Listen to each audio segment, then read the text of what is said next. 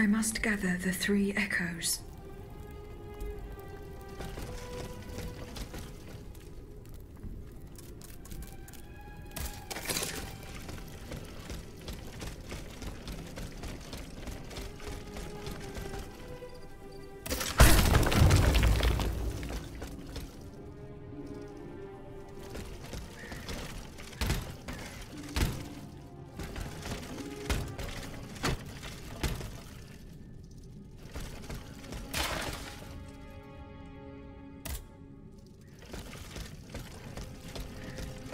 The Cordeliers convent is over there, up on the hill.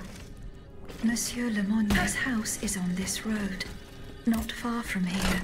I could pay him a visit to learn more about the death of the poor Dauphin.